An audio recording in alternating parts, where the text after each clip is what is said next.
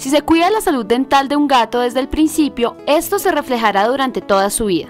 Pero si sucede lo contrario, se acumulará sarro y cálculos que posteriormente le harán perder sus dientes. Aunque no es común en un gato cepillar sus dientes, es necesario hacerlo para cuidar su salud dental.